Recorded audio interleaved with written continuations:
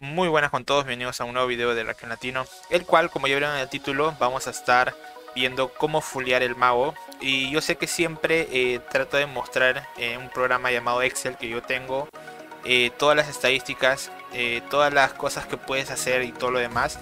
¿no? Y hay muchas cosas que la gente a veces se confunde o quizás yo puedo hacer de que ellos se confundan, a algunos no les gusta este tipo de videos, no son los más populares, ¿no? Pero de todas formas, yo les digo que voy a tratar de hacerlo de una manera mucho más simple para que no se, no se mareen mucho y para que entiendan qué cosas que bueno qué stat deberían buscar y qué tan fácil puede llegar a ser armar uno u otro personaje. En este caso vamos a estar hablando sobre el mago pero si revisan mi canal van a encontrar de todos los personajes y voy a estar dando uno que otro tips por ahí. Como ya sabrán yo tengo mi maguito que ya está full. Eh, yo actualmente estoy usando el set así lava, pero el set Ancient Sparta está en. Así que los cálculos lo voy a sacar con el set Ancient Sparta. Vamos a mostrarles aquí que como ya verán, ya pasé todas las estadísticas del Ancient Sparta de mago. Aquí está, bueno, con el nombre de Kane, ¿no?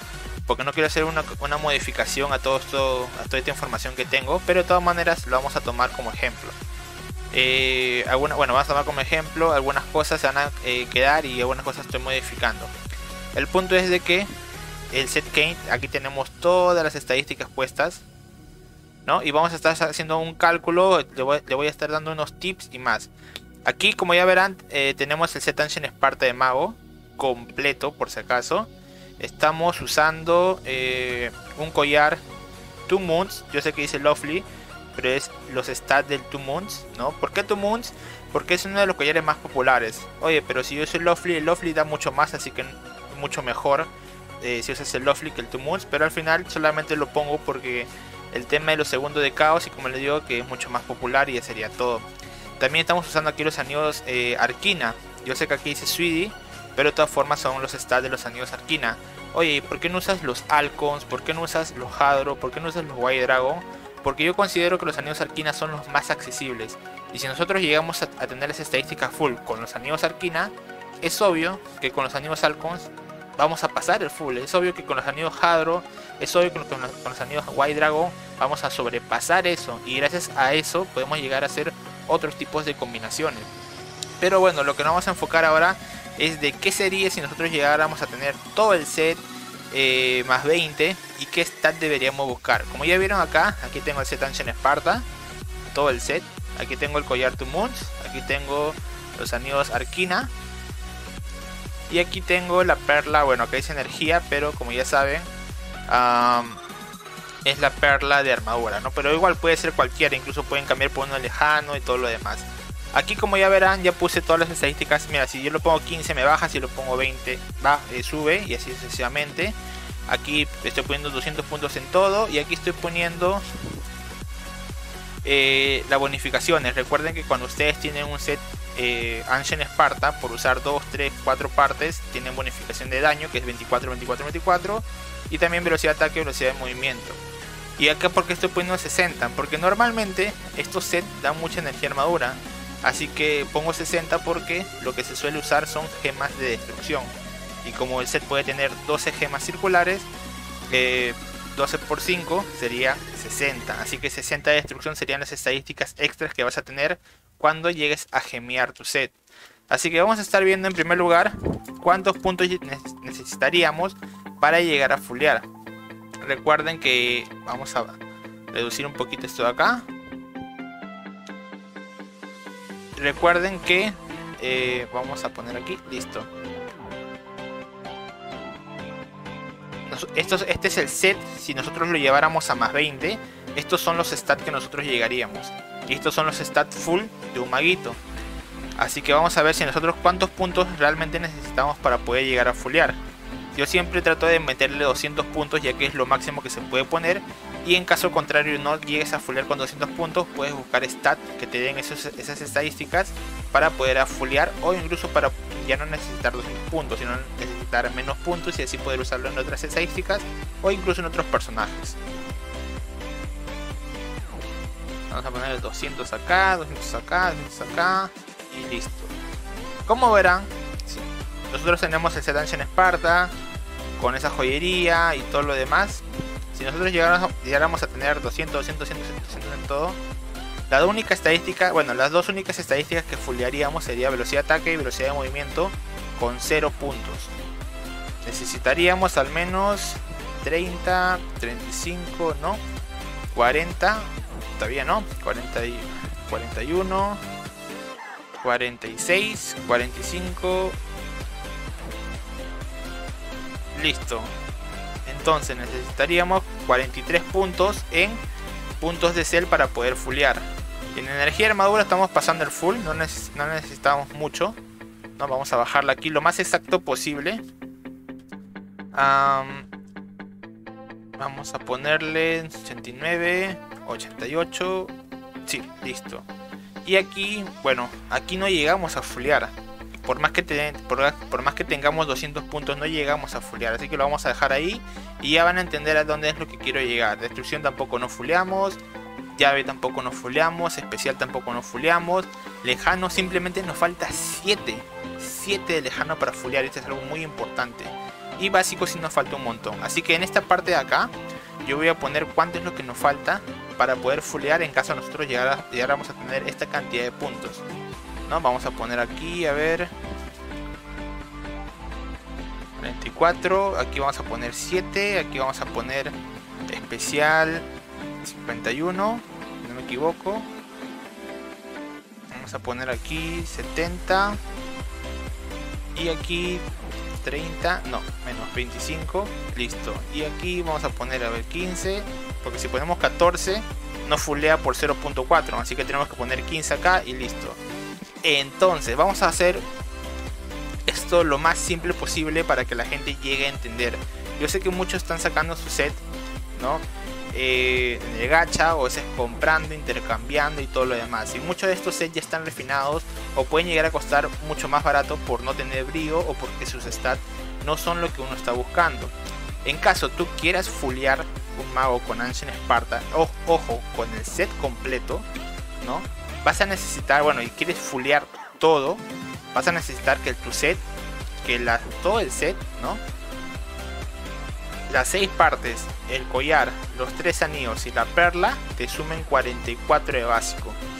Vas a necesitar que, bueno, igualito, que todas las partes, las 11 partes que puedes llegar a refinar, te sume 7 de lejano, o cosa que es muy simple llegar a esos 7 de lejano. Vas a necesitar que lo demás, en especial, llave y todo lo demás, te sumen 51, 70, 25 de destrucción, 15 de energía y listo. Con eso ya llegaríamos a fulear todo. Así que muchas veces la gente busca en Esparta de mago y lo que más busca siempre es lejano. ¿Verdad? Exacto. Pero si nosotros llegáramos a tener 200 puntos en todo y solamente basta que una de estas partes te por ejemplo, como este de acá que me da 7 de lejano, basta que una parte me dé 7 de lejano y no importa si lo demás está leyenda y sin fondo, o bueno, leyenda o morado o lo que sea, la cosa que esté más 20, igualito marcaríamos el full en lejano. ¿Se dan cuenta? Entonces, ¿qué pasaría si hay más partes que, por ejemplo, el casco me da 5, el pecho me da 3, eh, el arma me da 2, un collar me da 10? ¿Qué pasaría si yo busco más partes con lejano? Lo que ocasiona es de que ya no necesitaríamos 200, 200 puntos en lejano, necesitaríamos menos y así también ahorraríamos muchos puntos.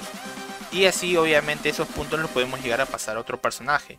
O lo que haríamos es que como ya estamos fuleando, por ejemplo aquí estaríamos fuleando por 20 puntos extra en lejano, lo que podríamos hacer es poder cambiar una parte y ponerle una parte elemental. ¿No? Y así poder hacer otros tipos de combinaciones. Otra cosa que la gente hace es de que también para los que no saben, el tema de llave, eso no es que hace que la llave dure más, sino que hace que quite más. Y el tema del especial es de que eh, el viento dura más, cosa que el viento está, digamos, no se usa, o sea, casi la mayoría no lo usa, está como que prohibido porque dura muchos segundos, pero también a muchos les gusta fulear el ataque especial porque hace que la cura te cure mucho más energía. Eh, pero de todas maneras son ataques que no usan, así que si ustedes quieren fulear con mago, yo recomiendo que traten de obviar eh, el especial Vamos a eliminar acá. Y la llave. Pero bueno, si en caso quieren fulear todo, ya saben cuánto es lo que necesitan eh, sumar. ¿no? Y entonces tienen que buscar un set que te dé 44 básicos, 7 especial, 25 eh, destrucción y 15 energía, Y bueno, el básico sí es un poquito complicado de buscar y además tampoco le toman mucha importancia el básico. Por ejemplo, yo juego sin básico, solamente full lejano, así que también vamos a obviarlo, vamos a eliminar esto de acá. Y como verán, entonces en teoría, ¿no? nosotros si queremos fullear con un set de mago, tenemos que buscar que el set te dé 7 lejano, 25 destrucción y 15 energía. Con un set Ancient Esparta, collar to Moons, tres anillos arquina y una perla de armadura. Simple. Pero yo sé que obviamente la gente eh, es muy complicado que lleguen a tener prácticamente esta cantidad de puntos, ¿no? Eh, vamos a ver acá. Es muy complicado que la gente llegue a tener 1032 puntos o más de 1000 puntos. Eh, ya que las justas tienen 300 puntos, 300 puntos de nivel y por ahí puede llegar a tener 100 más de puntos power o 200 más de puntos power o por ahí usar stat buff. Yo sé que es muy complicado. ¿no? Por esa razón, si tu set te da más lejano, si tu set te da más destrucción, si tu set te da más energía, te da armadura, te da hasta cell incluso, ¿no? Imagínate te da 2000 de cell. Eso va a ocasionar de que necesites muchos menos puntos para poder Y en caso tu set no te dé nada de eso, significa que sí o sí vas a necesitar llegar a los 200 puntos como yo. Por ejemplo, yo a pesar de que tengo un set que ya está como top 3 actualmente desde que estoy subiendo este video, yo por ejemplo necesito 200 puntos en lejano, 200 puntos en destrucción, 150 en energía y 190 en armadura.